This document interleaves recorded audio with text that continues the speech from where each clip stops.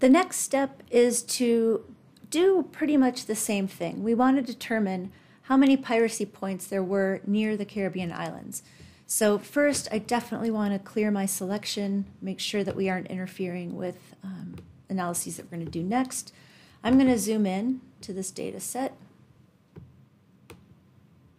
And I'm going to turn everything else off because we want to keep our map clean.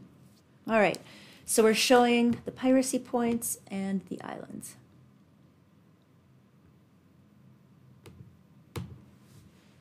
All right, now we could do the same thing, a select by location, but the reason I want to show you how to do a buffer and a clip is A, to expose you to the buffer and clip tool.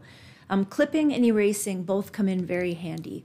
A clip is like a cookie cutter that you're going to stamp over the data and keep everything inside that shape and get rid of everything else.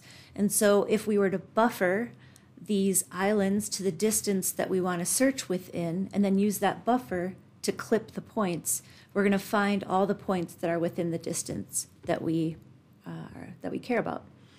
And looking back at the instructions, it looks like we are interested in all the points that fall within 100 nautical miles of the Caribbean islands.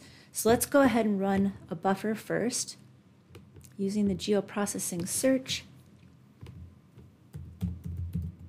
You'll see that there's a new tool called the pairwise buffer. So our input features are going to be the islands. That's what we want to create a larger shape around. Um, we should definitely name this. Um, and we'll put our units in there so we know what we're doing. We're going to put our 100 nautical miles in here.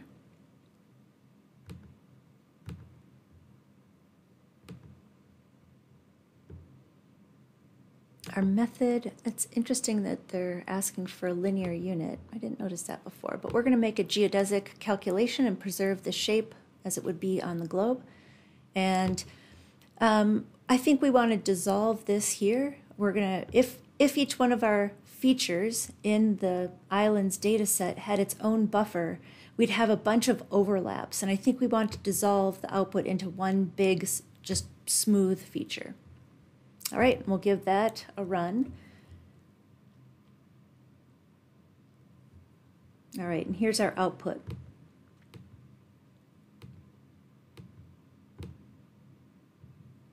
Okay, so this is the area within 100 nautical miles of the Caribbean islands, and now we can use this shape to clip our points.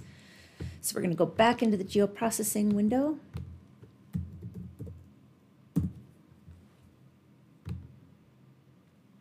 And there's, of course, a pairwise clip tool that provides enhanced functionality, but we're going to go ahead and use the good old clip tool.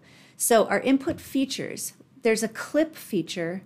A lot of these uh, tools I like to set up backward. The clip feature to me reads like the cookie cutter. This is the thing that we want to use as our cutter. And that I know want, that I want to be the buffer.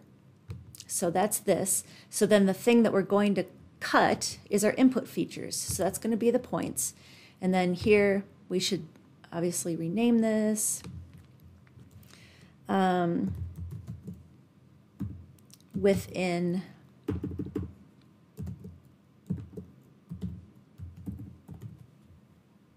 all right and let's clip it now doesn't look like anything changed so, what habit do I want you to kind of create over the semester?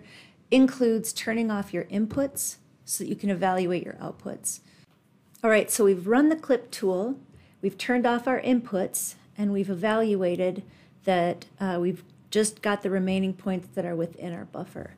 So we can go into this attribute table to figure out how many points are left. And you can see right down here, there are 232 points in this data set. So there are a lot of different ways to uh, manipulate spatial data. Um, this exercise is uh, designed to kind of give you an overview of some of the most common tools that we use.